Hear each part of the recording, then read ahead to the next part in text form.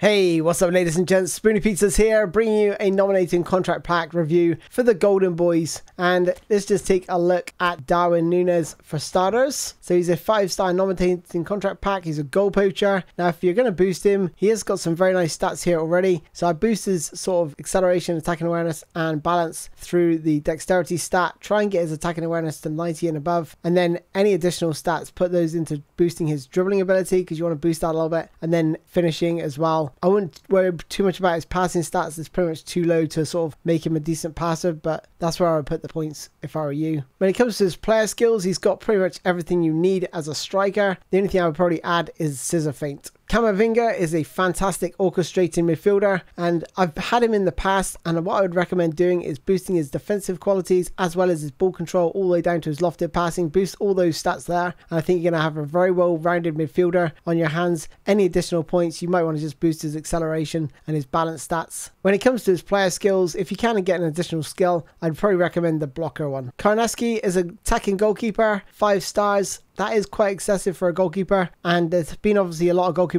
being released for free lately, the likes of Neuer and Kahn. And like I said, if you've probably got a decent goalkeeper already, you're probably going to skip on this one. He's only got goalkeeper high punt, but if you've not got a goalkeeper and you're desperate for one, then he might be worth a punt. But for me, it's a pass. Dani Vivian, a destroyer centre back, and just taking a look at his player stats here, he's got good defensive awareness, which is really key, and tackling stats, and defensive engagement, and aggression, and his speed's pretty good. His speed and acceleration is pretty good. Probably don't need to, need to touch that too much, to be honest. Um, his physical contact could be boosted a little bit if you are going to go for him. He's got heading, man marking, interception, blocker, and sliding tackle, so those are all good skills to have as a defender. The only thing I would say is because he's a destroyer, he's not for me because I just think the destroyer is a little bit crazy at centre back unless you've got more than one centre back. Murillo is a build up defender centre back, 79 rated. He's got good defensive awareness and tackling. His defensive engagement is a little bit low, as is his acceleration. So probably a defender I can't really recommend in the five, four star contract pack. Pablo Torre, creative playmaker and attacking midfielder. Now this is one player to look out for in the future. It's definitely going to be one of the bright sparks. And in this sort of stats wise, he's absolutely superb. You know, he's already got good acceleration and speed in my opinion. And look at his tight possession, 81. This is a very, very good player, especially in that attacking midfield role where he's just going to set. He's got good high balance, tight possession, dribbling, ball control. So what you're going to look to boost is boost those further,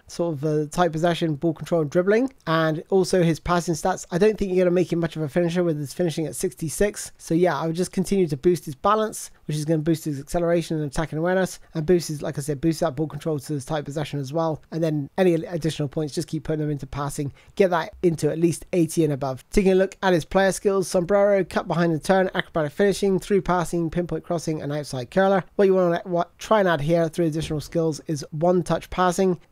Pretty much essential for any midfielder, still, in my opinion. And then additional player skills, the likes of double touch, the likes of sole control, the likes of scissor feint, any of those skills along those lines would be great to have. Buonanotte is a creative playmaker who plays for Brighton in the attack midfield role, but unlike Torre for four stars, I just can't recommend him. He hasn't got the tight possession that Torre's got, hasn't got anywhere near the balance. He can play in more positions than Torre. He can play on the right side and central midfield, but for me, not really a player I could recommend. And again, he's missing one touch passing. And finally, the last player in this pack is Daramy, who's a prolific winger, plays on the left hand side or can play centre forward as well. Pretty quick across the ground, but that's about it. That's where his that's pretty much where his skills begin and end. As you can see with acceleration, speed, and dribbling. He's got some decent finishing, but for four stars, that is a stretch to be honest. And in terms of player skills, yeah, he's got good skills, which is going to be fine, I guess, but not for me definitely one to uh, sort of pass. But he has got he's gonna have like the sort of uh,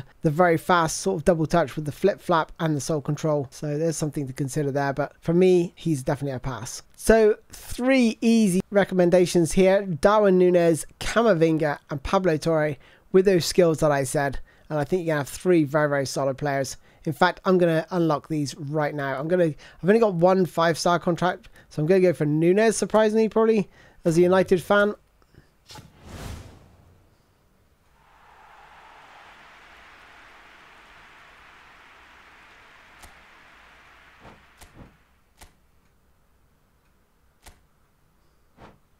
Obviously, my next five star card will be Camavinga.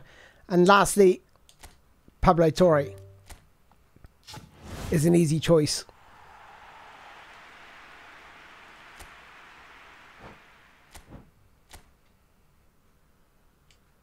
Okay, there we are, ladies and gents. Thanks for watching this review on the Golden Boys. We are going to be looking at the other nominating contract pack next, so stay tuned. Thanks for watching. I'll see you next time. Bye bye.